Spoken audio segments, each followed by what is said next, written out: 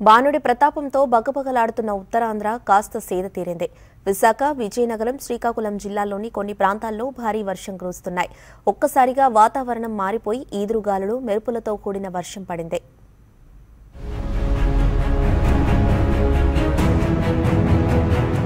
ఉత్తర అండమాన్ సముద్రం దాని పరిసర ప్రాంతాల్లో వాయుగుండం కొనసాగుతున్న కారణంగా ఉత్తరాంధ్రలో ఉరుములు మెరుపులతో భారీ వర్షం కురుస్తోంది.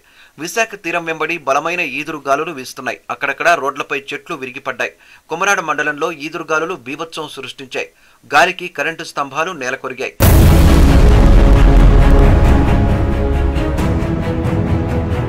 ఉత్తర ఈశాన్య దిశగా మయన్మార్ తీరం వైపు వాయుగుండం ప్రయాణించే అవకాశం ఉందని వాతావరణ శాఖ తెలిపింది. రానున్న ఆరు గంటల్లో బలహీనపడే అవకాశం ఉందని వాతావరణ శాఖ అధికారులు తెలిపారు.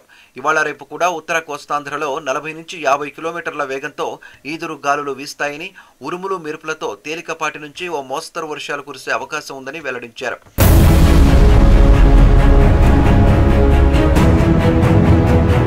మరోవైపు ఏపీలోని మరికొన్ని జిల్లాల్లో ఎండలు దంచుకొడుతున్నాయి. బయటకు రావాలంటేనే జనాలు జంకుతున్నారు. ప్రజలు సెగ ఉక్కపోతతో ఇంటికే పరిమితమవుతున్నారు.